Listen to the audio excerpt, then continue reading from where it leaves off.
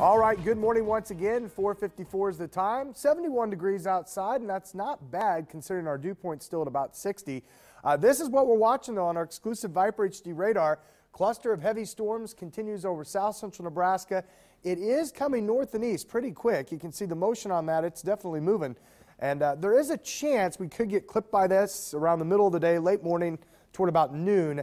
Uh, most of this is forecast kind of weaken north of us, but we'll watch that. It's a possibility. Better chances for us actually come uh, with redevelopment late this afternoon and this evening, kind of along the same disturbance here. So uh, we'll watch for that. In between, partly sunny, warm, but not terribly hot.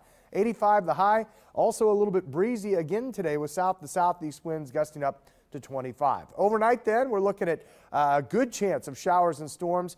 Uh, right now, we are under the slight risk, so we'll have to watch that. Maybe some isolated hail. I think wind would be a higher threat and uh, heavy rain, a lot of thunder and lightning. There's even an outside chance for one or two isolated brief tornadoes. So we'll watch for that. But again, probably wind, heavy rain, lightning, and thunder are usual suspects this time of year. 69 to start off Wednesday, and then as we get all the way through midweek here, we actually cool off. 82 tomorrow.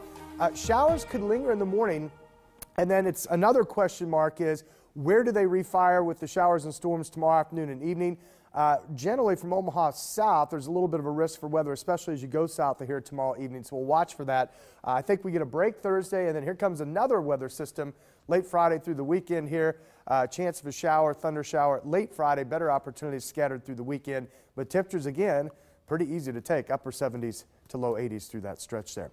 All right, right now it is 456, 71 degrees outside. And once again, as we check our Harrah's camera from the casino looking back across downtown, Beautiful shot of the skyline. There's a few clouds out there this morning, but so far we're dry, and I think at least through the morning drive will remain that way, and then we'll have to watch the rain back to the southwest of us to see what that does here uh, later this morning. All right, right now again, 71 degrees. Stay with us. Matt and Deanne will have the latest news headlines right after the break.